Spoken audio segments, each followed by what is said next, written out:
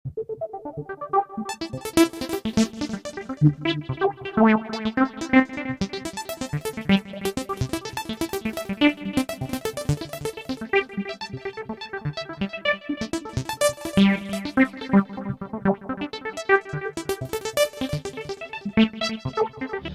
pagi, jumpa lagi di channel Wiwin Gokil. Kali ini Wiwin Gokil akan mengajarkan teknik men recover SMS yang telah dihapus.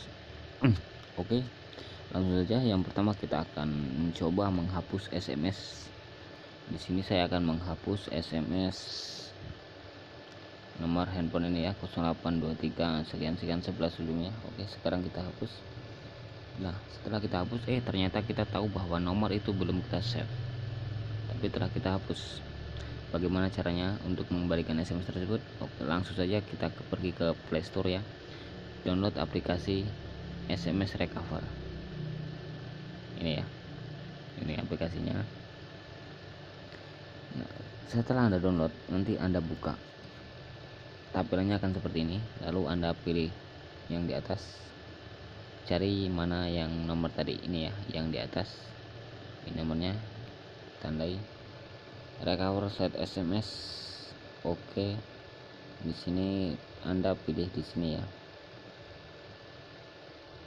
lalu setuju Oke, setelah itu kita tinggal kembali dan buka SMS di sini telah kembali ini ya kita klik oke Oke, begitulah cara mengembalikan SMS yang telah dihapus. Terima kasih telah berkunjung ke channel Wiwin Gokil. Jangan lupa like, komen, dan subscribe.